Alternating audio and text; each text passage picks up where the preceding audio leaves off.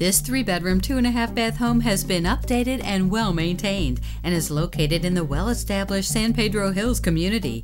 Features include an in ground pool, a gourmet kitchen with updated cabinets, Corian counters, and a built in kitchen hutch, along with ceramic tile and wood flooring throughout the home. Come see this home soon with Ray.